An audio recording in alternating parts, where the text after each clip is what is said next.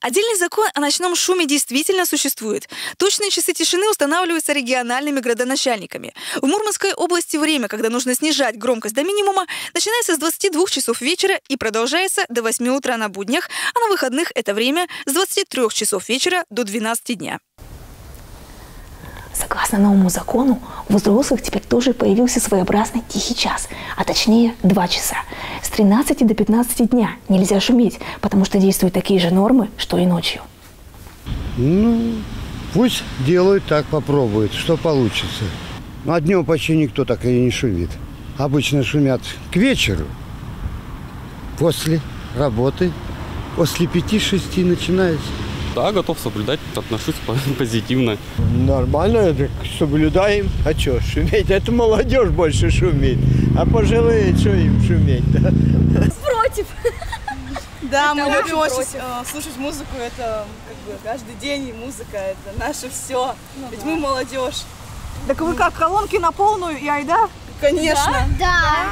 И убираться, и там А вот э, не, не думаете ли вы, что это немножко эгоистично? Ведь, может быть, в это время кто-то хочет поспать. Ну, ночью тоже же Ночью ведь мы даем поспать. ничего. Как говорится, до 11 часов можно делать, что хотим.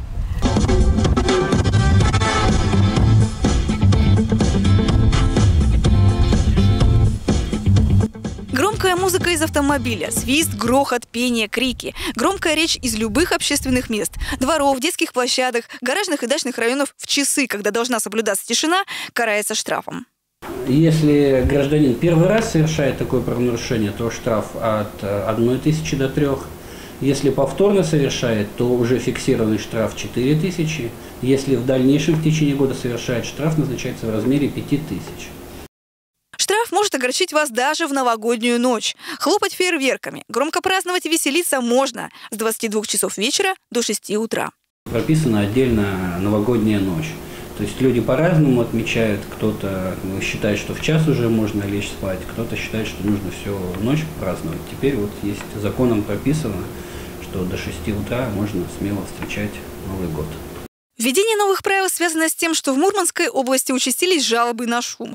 Только в Кировско-Апатийском районе за первое полугодие 2015 года в полицию обратились более тысячи жителей. Со всеми нюансами новых правил можно ознакомиться, прочитав закон об обеспечении тишины и покоя граждан от 3 июля 2015 года номер 1888.